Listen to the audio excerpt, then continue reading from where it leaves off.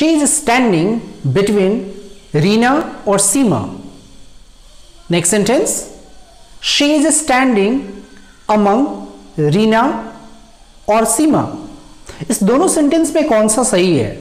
Between use होगा या among use होगा? कौन सा करेक्ट है, कौन सा इनकरेक्ट है? अगर आपको इस तरह के सेंटेंसेस में प्रॉब्लम्स है आप इस तरह के सेंटेंसेज में ये समझ नहीं पाते, कहाँ पर अमंग यूज़ करें, कहाँ पर बिटवीन यूज़ करें तो यह वीडियो आपके लिए काफ़ी इंपॉर्टेंट है। आप अंत तक ज़रूर देखिए, कुछ नया सीखने को ज़रूर ही मिलेगा। मेरा नाम है चंदन झा और आप देख रहे हैं elite effortless English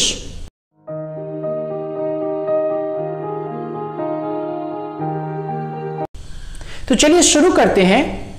Use of among and between सबसे पहले मैं आपको बता दूँ बिटवीन और अमंग दोनों का ही मतलब होता है के बीच में। यानी किसी चीज़ के बीच में, किसी आदमी के बीच में, किसी ग्रुप्स के बीच में, जब आपको इंग्लिश में बीच में बोलना हो तो उसके लिए आप अमंग या बिटवीन का यूज़ कर सकते हैं। तो सबसे पहले बिटवीन का यूज़ जब दो व्यक्ति, वस्तु या ग्रुप्स दो ग्रुप्स के बीच में बात हो तो आप बिटवीन का यूज़ करेंगे। जैसे she is standing between Kavita and Karan. Kavita और करण के बीच में खड़ी है। यहाँ दो लोग हैं, इसीलिए बिटवीन का यूज़ हुआ। Next example I will be at the office between nine and eleven मैं 9 से 11 बजे के बीच में ऑफ़िस में रहूँगा। यहाँ पर मैंने 9 एंड 11 बोला। बिटवीन के बाद टू का यूज़ नहीं होता। आप नहीं बोल सकते, बिटवीन 9 टू 11 गलत हो जाएगा। बिटवीन के बाद फिर से प्रीपोजिशन का यूज़ गलत माना जाता है। वहाँ टू के बदले एंड का यूज़ होगा। तो क्या होगा? बिटवीन 9 एंड 11 9 से 11 के बीच में। या दो टाइम है नौ बजे और 11 बजे, इसीलिए यहाँ पर बिटवीन यूज़ होगा। अमंग का यूज़ नहीं कर सकते। जब दो से अधिक व्यक्ति, वस्तु या ग्रुप्स के बारे में आप बात करें, उसके बीच में बताना हो, तब आप अमंग का यूज़ करेंगे। ज़्यादा सही माना जाता है तो वहाँ पर आप अमंग यूज़ करेंगे। For example his house is hidden among the trees उसका घर पेड़ों के बीच में छिपा हुआ है, यानी बहुत सारे पेड़ हैं, बहुत सारी ट्रीज हैं। इसीलिए वहाँ पर अमंग का यूज़ ज़्यादा सही है। अमंग का यूज़ करेंगे बिटवीन का यूज़ नहीं करेंगे। एक और example your letter is somewhere among all these papers आपका लेटर इन सारे पेपर्स के बीच में कहीं पर है।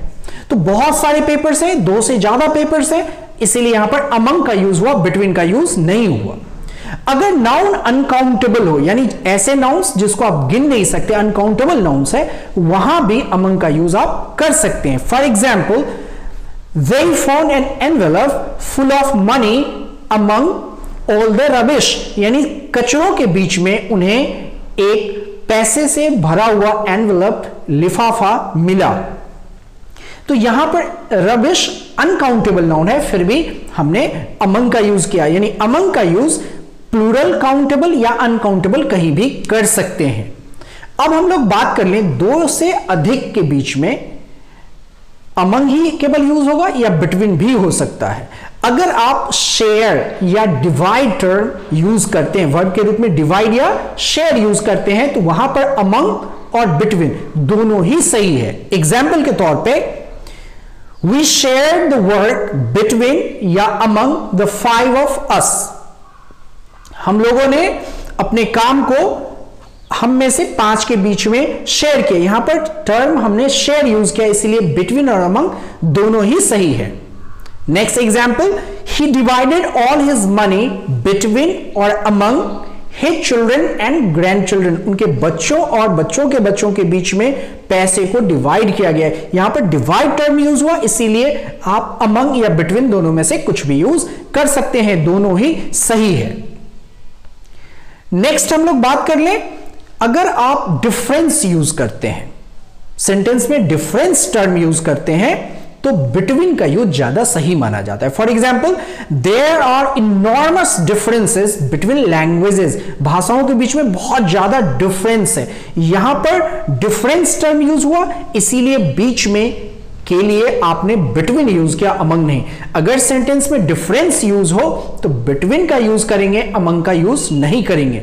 कॉम्पिटेटिव पॉइंट ऑफ़ व्यू से आप ध्यान रखें बिटवीन के बाद फिर दूसरा प्रीपोजिशन टू का यूज़ नहीं होता। डिफरेंट कॉम्पिटेटिव एग्ज़ाम्स में बिटवीन के बाद टू का यूज़ करके क्वेश्चंस दिया जाता है, जो गलत है, आप वहाँ पर एंड डाल के उसको करेक्ट करेंगे। इस वीडियो में हम लोगों ने बिटवीन और अमंग का सही यूज़ सीखा। इस वीडियो में इतना ही। अगर आपको वीडियो पसंद आया हो तो वीडियो को लाइक कीजिए, शेयर कीजिए, चैनल को सब्सक्राइब कीजिए, ताकि आगे आने वाली वीडियोस का नोटिफिकेशन आपको समय पर मिलता रहे। Thanks for watching bye